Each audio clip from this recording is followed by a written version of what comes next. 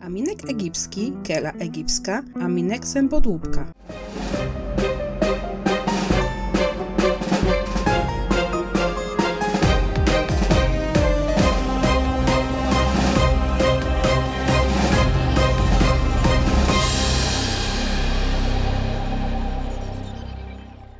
Aginek niegdyś porastał rejony starożytnego Egiptu. Obecnie można spotkać go głównie w Azji, Afryce i południowej Europie. Dzikie łany tego ziela spotykamy na przykład na Maderze oraz Wyspach Kanaryjskich. Jest rośliną jedno- lub dwuletnią, obupłciową. Ma niezbyt przyjemny zapach. Wyglądem przypomina koper włoski.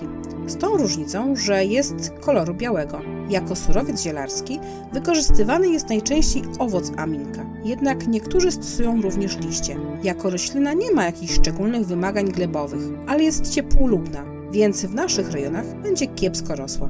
Wiąże się to też z dość długim okresem wegetacyjnym, który mieści się między 160 a 210 dni. Dlatego w naszym klimacie ciężko jej rosnąć ze względu na wczesne przymrozki i niemożność dojrzenia. Zastanawiałam się, czemu aminek jest też nazywany zębodłubkiem. Bardzo mnie to zaintrygowało i po przeczytaniu wielu artykułów trafiłam wreszcie, że nazwa ta wzięła się od tego, że aminek posiada twarde szypułki i dawniej wykorzystywany był do wytwarzania wykałaczek.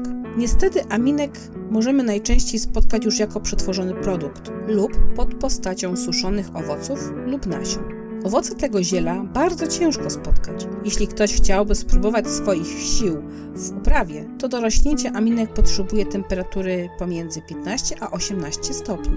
Kiełkuje między 10 a 14 dniem od wysiewu. Wysiewa się go na przełomie kwietnia i maja. Roślina będzie rosła nawet na słabym podłożu, ale musi być osłonięta od zimnego wiatru bardzo źle znosi przesadzanie ze względu na swój palowy system korzeniowy. Zakwita w lipcu i kwietnie aż do sierpnia, września.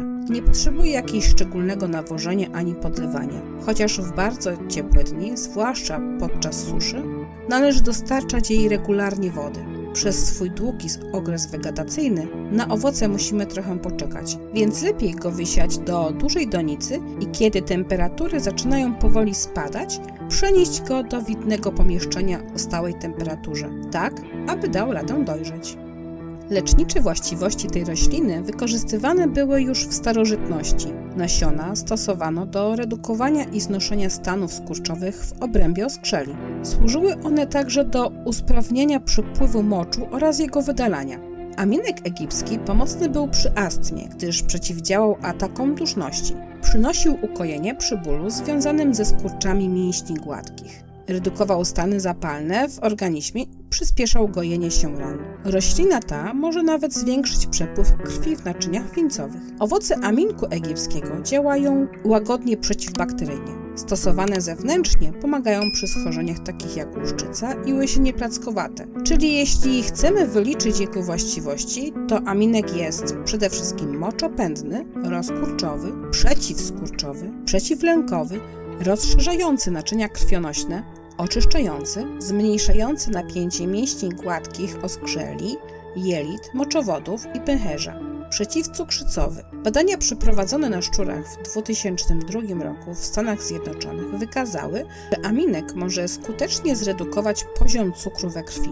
Wskazania do zastosowania aminka to astma oskrzelowa, duszność oskrzelowa, infekcje dróg moczowych, kolki nerkowe, kolki żółciowe, kamienie żółciowe, skurcze macicy, choroby płuc, łuszczyca, nerwica wegetatywna, przerost kurczołu krokowego, kaszel połączony z dusznością, skurcze mięśni, miażdżyca, choroba wieńcowa, angina, koklusz, wysoki cholesterol, zespół napięcia przedmiesięczkowego, bielactwo, łysienie, bolesne miesiączkowanie, zastoje moczu, stany pozawałowe serca, nieżyt jelit, wrzody, skurcze pęcherzyka żółciowego, skurcze przewodu pokarmowego i cukrzyca. Aby wzmocnić i uzupełnić jego działanie, z powodzeniem aminka można łączyć z kokoryczką, naparstnicą, konwalią, glistnikiem, maczkiem kalifornijskim, miłożębem. Ale oczywiście nie możemy tego robić na własną rękę, a tylko i wyłącznie pod okiem zielarza lub wyspecjalizowanej osoby w tym zakresie.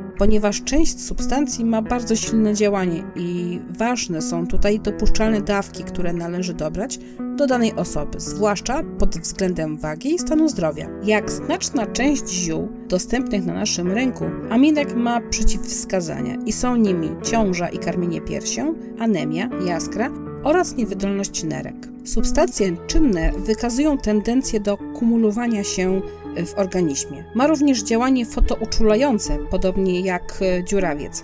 Nie należy wystawiać skóry na bezpośrednie działanie promieni słonecznych. Może dojść do wystąpienia poparzeń i zmian skórnych trudnych do wyleczenia. Składnikami, które mają korzystny wpływ na organizm są m.in. furanochromony, czyli kelina, kelol, kelozyt, wisnagina, piranokumarynę, czyli saselina, wisnadyna, wisnagan, semidyna, flawonoidy, między innymi tutaj możemy wymienić kwercytynę, izoramnetynę, kamferol, olejki eteryczne, czyli karwon, kamfer, linalol, tłuszcze, białka, fitosterole, kwasy polifenolowe, sole mineralne oraz kelol, który jest glukozydem. Do najczęstszych działań niepożądanych zaliczamy nudności, ból głowy, świąt, bezsenność. Jeśli wystąpią któreś wymienione, należy przerwać stosowanie zioła. Za jakiś czas możemy wrócić do niego, ale jeśli znowu się pojawią, lepiej go odstawić całkowicie. Organizm wie, czego potrzebuje, a wykazując większą wrażliwość na dane zioło, pokazuje, iż to zioło niestety ale nie jest dla nas wskazane. Znalazłam dla Was kilka przepisów i mam nadzieję, że Wam się przydadzą. Pierwszy to wywar, czyli mamy 10 gramów owoców, zalewamy 250 ml wody. Gotujemy przez chwilę, odstawiamy do ostygnięcia. Zażywamy 3 razy dziennie po 15 ml. Nalewka w proporcjach 1 do 5, czyli jedna część nasion i 5 części alkoholu 60%.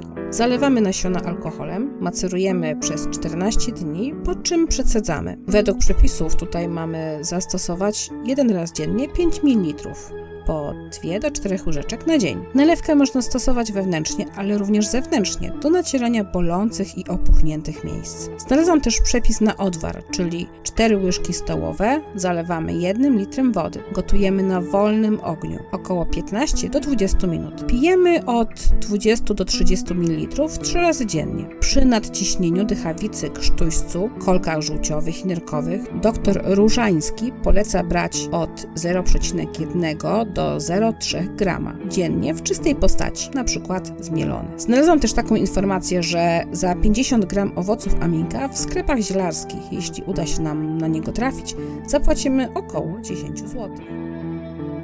Dziękuję za oglądnięcie kolejnego odcinka. Jeśli Wam się podobało, dajcie łapkę w górę i zasubskrybujcie mój kanał. Będę mega, mega wdzięczna. Wiedząc, że Wam się podoba to, co robię, dostaję powera do nagrywania dalszych filmów.